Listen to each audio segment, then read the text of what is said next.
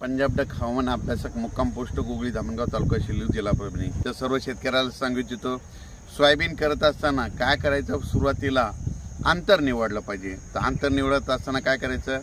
की आतापर्यंत आम्ही चौदा इंचावर पेरणी करायचो. पण चौदा इंचावर पेरणी केल्याच्यानंतर काय व्हायचं? ती सोयाबीन दाटून जायची. त्याच्यामुळे उतार कमी यायचा.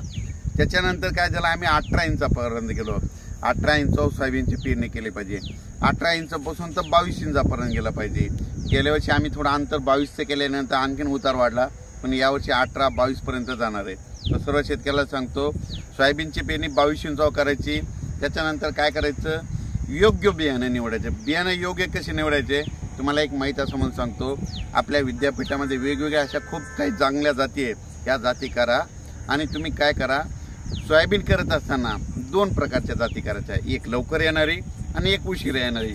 जर जास्त पाऊस का झाला तर एखादी पावसात सापडला नसता उश नाही कमी झाला तर एक पावसात सापडणार आणि एक नाही सापडणार म्हणून काय करायचं? अशा दोन प्रकारच्या जाती करायच्या. मग दोन प्रकारच्या जाती करायच्या तर मग नेमक्या जाती कोणत्या निवडायच्या? तर महाराष्ट्रामध्ये दोन हजार दहापासून मी सोयाबीन करत असताना काय झालं की इतका अभ्यास केला इतका अभ्यास केला. स्वतः शेतामध्ये प्रॅक्टिकली अभ्यास केल्याच्यानंतर या जाती मग लक्षात आल्या की खरंच म्हणजे निसर्गाचं त्या जातीचं कसं कुठं गणित बोलतंय का? मग तुम्हाला एक सांगतो की परभणी विद्यापीठाने परभणी विद्यापीठाने शेतकऱ्यासाठी एक सहाशे बारा अशी जात केली की तिला खोडकिडा लागत नाही येलो मोजॅक येत नाही. आणि इतकी चांगली जाते की समजा एक काढायला आली आणि एक महिना पाऊस राहिला तर ती पाण्यात नुसती उभ्याला उभी राहणार पण ती फुटणार नाही. अशी ती जात मग सहाशे बारा. त्याच्यानंतर काय झालं परभणी विद्यापीठाची एकाहत्तर नंबर म्हणून एक जाते ती एक खूप चांगली आहे. त्याच्यानंतर तुम्हाला एक माहीतच म्हणून सांगतो की अकोला विद्यापीठाने काय केलं शेतकऱ्यासाठी? थोडं लवकर येणार वाहनमध्ये ते काय केलं की आंबा म्हणून एक केलेली आहे. ती एक शेतकऱ्यासाठी चांगली आहे. त्याच्यानंतर तुम्हाला एक सांगतो आणि की लवकर येणाऱ्या जातीमध्ये काय झालं की लवकर येणाऱ्या जातीमध्ये राऊरी विद्यापीठाची एक ध्रुवा म्हणून एक जात आहे. ती एक सगळ्यात चांगली आहे. म्हणून हे करायचे त्याच्यानंतर ज्यांची काळीची जमीन आहे त्यांच्यासाठी किमिया मात्र चांगली आहे. तर तुम्हाला एक सांगतो गेल्या वर्षी मी किमिया केल्याच्यानंतर मला जवळपास हे म्हणजे एक एकरला एकवीस क्विंटलचं असं आवरे झालं म्हणजे एकवीस क्विंटल आवरे झालं हे कसं आलं तुम्हाला एक सांगतो. सोयाबीन करत असताना जनरली लोक सोयाबीन करतात. सोयाबीन केल्याच्यानंतर तुम्ही एकदा एक बॅग खत देतात दहा किलो गंधक देता पण त्याच्यानंतर तुम्ही खत देत नाही. पण मी काय केलं गेल्या वर्षी पाऊस जास्त होता म्हणून स्वतः गड्यासोबत शेतात जाऊन मग सोयाबीन पेरल्याच्या नंतर एक बॅग खत द्याला दहा किलो गंधक दिलं आणि सोयाबीन एकरी बत्तीस किलो पेरली. पेरल्याच्या नंतर काय केलं की वीस दिवसाला परत कोणी खत देत नाही पण मी काय केलं स्वतः शेतात गड्यासोबत गेलो आणि दोन बॅग सुपर फास्फेट आम्ही फेकल्या. त्याच्यानंतर काय केलं परत एकदा खत दिला. म्हणजे पुन्हा चाळीस दिवसाला काय केलं परत एकदा खत कसा दिला की परत एकदा एक घरी बारा बत्तीस सोळा शिल्लक होता म्हणून परत एकदा फेकला. म्हणजे तीन वेळेस खत दिला. हे केल्याच्यानंतर काय झालं तण नियंत्रण म्हणजे तण नियंत्रण. तण नियंत्रण कसं करायचं की काय झालं की शेतीमध्ये मध्ये तण नियंत्रण करायचं असेल तर तुम्हाला एक माहिती असून सांगतो की शेतात म्हणजे फवारणी करत असताना आपण गड्यासोबत राहून फवारणी करायची. कशामुळं? त्या गड्यासोबत थांबायचं. जर चार एकर जो दिवसाला होत असं त्या गड्याला म्हणायचं तीनच एकर फवार पण मन लावून फवारायचं. असं केल्याच्यानंतर तण होणार नाही.